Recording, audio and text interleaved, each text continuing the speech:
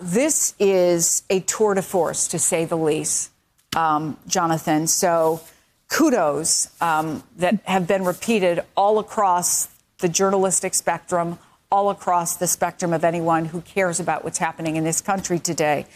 But of the many, many things that you were able to extract from the president in this interview, the one that I think so many people are talking about, and I, I want to know what went through your mind when you heard it, is what I just said.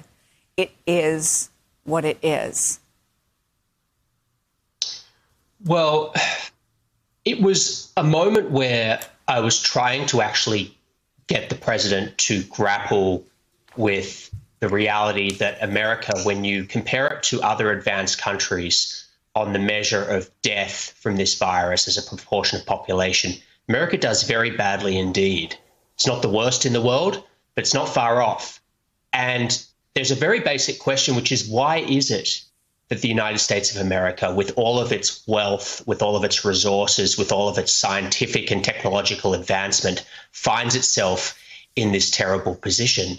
And in, instead of grappling with that question, the president uh, had brought along his own charts to basically try to sell the story that it wasn't as bad as it seemed, that it was under control, and that in fact it was a much rosier picture uh, than the raw statistics paint. So it was a very striking part of the interview.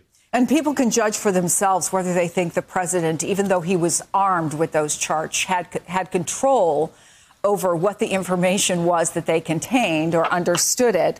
But I thought there was another point, and and you made it so clearly and so definitively, and that I think is so important as we continue to watch the number of deaths and the number of cases rise, and that is explaining to the president how much a, a large portion of this country, even though it's not a majority, but a large portion of this country still believe him, a large portion of this country that don't believe his lies are lies, who are listening to him for guidance, who are listening to him because they believe he is telling them the truth. And, and then to watch, it wasn't even so much what he said, but his physical reaction when you confronted him with the truth, Jonathan.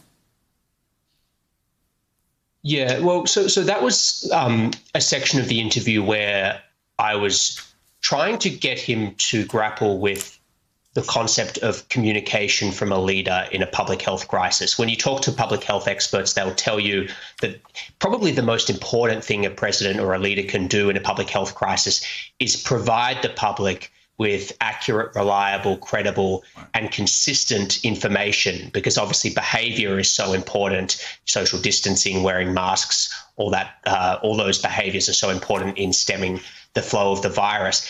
And, and I put it to the president that he hadn't done that, and that for month after month, not just in the early days when you know, a lot of people were wrong about this. But you know, March, April, May, and even in June, convening what is still the largest indoor gathering in the United States uh, since the pandemic hit, which was his rally in Tulsa. And my question to him was, why did you do that? But he heard it as me challenging him on his crowd size, which was not what I was doing at all and was quite beside the point. In fact, he went on to say that his crowd was well, much let, larger let me play that because it was it's a yeah. really one of the many yeah. great moments in the interview, but we have that. So let's play that exchange with the president. But Tulsa was a very good. Oklahoma was doing very well as a state. It was almost free. It spiked a month later, a month and a half, two months later, but it was a good area. We had a tremendous crowd. We had tremendous response. You couldn't even, it was like an armed camp.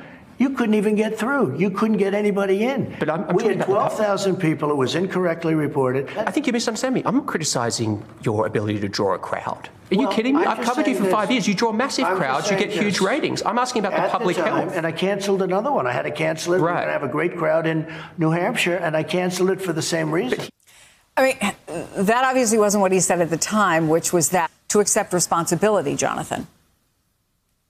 Well, again, it, it's not. Again, it's it's it's reflective of where his mind is at on the, on these on these matters, and there it was primarily about defending the size of his crowd and, and the ratings when my question was a, a question about public health and the wisdom of convening the largest indoor gathering on American soil since the pandemic.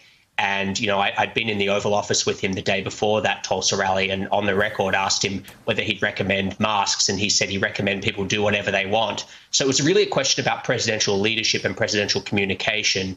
But I think it was uh, somewhat revealing that uh, that he heard it as me challenging him on his crowd sizes, which I wasn't doing. Let me just ask you quickly, because as you just pointed out in that exchange, you've been covering him for years. As he is three months out, how do you find him? Is he very different than somebody you interviewed just months ago? What was your sense of the president?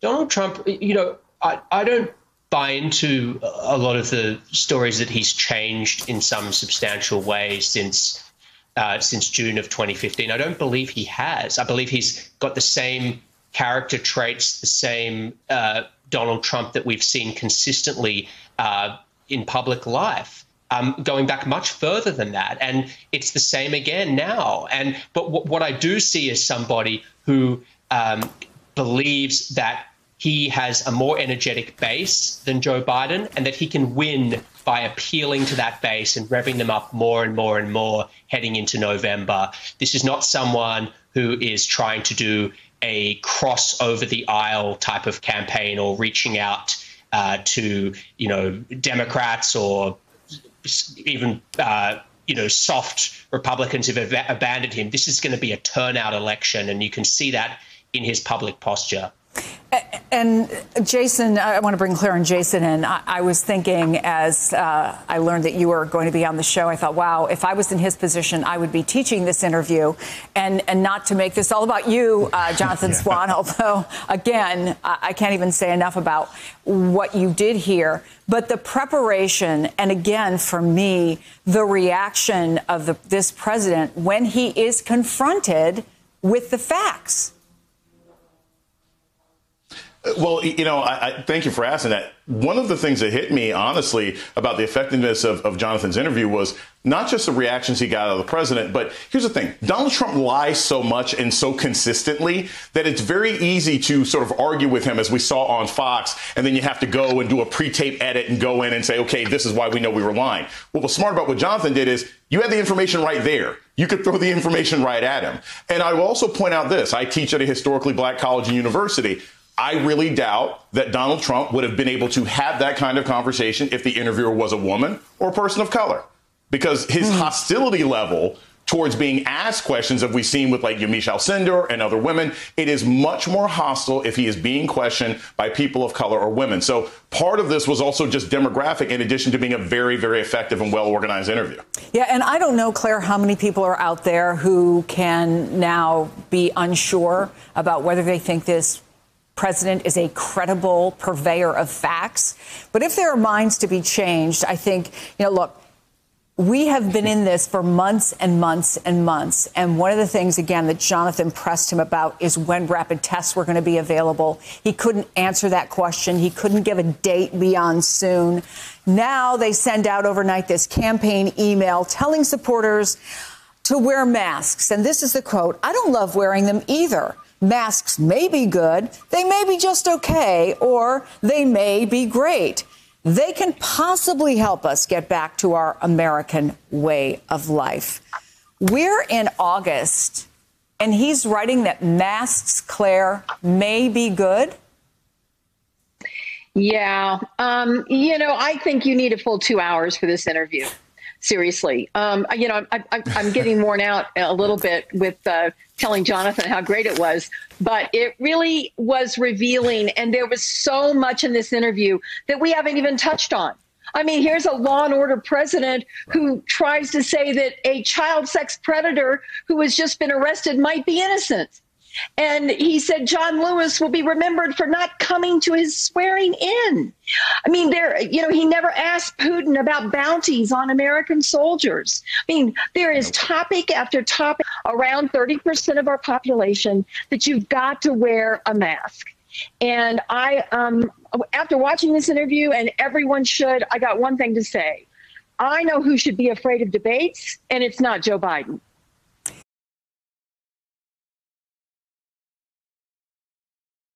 Hey there, I'm Chris Hayes from MSNBC. Thanks for watching MSNBC on YouTube. If you want to keep up to date with the videos we're putting out, you can click subscribe just below me or click over on this list to see lots of other great videos.